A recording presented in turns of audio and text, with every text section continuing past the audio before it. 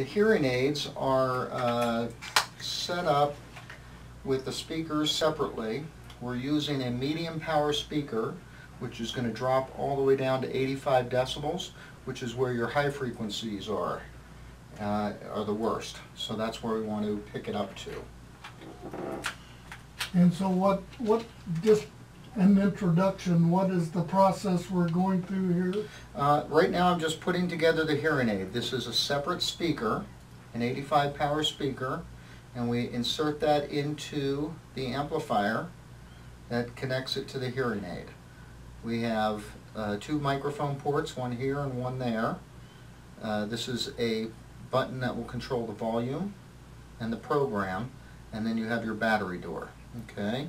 On the end of each speaker is a little white tip that's called a uh, wax trap, and that will be changed by you or me if you don't want to do it, because I do that also. And on top of that, we will put a dome that will fit it comfortably in your ear. And previous to this, you've done tests on my ear so you know what kind of, Correct. We just tested your hearing. I put your hearing test into the computer. It shows a very uh, severe sensorineural sloping hearing loss.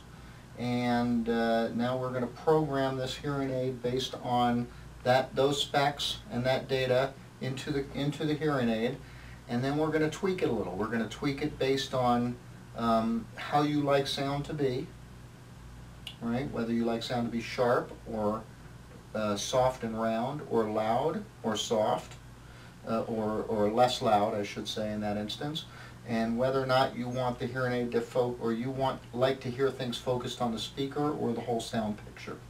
Okay, then we'll tweak it a little bit more based on your perception of the device in your ear okay? all right, and how the sound appears to you.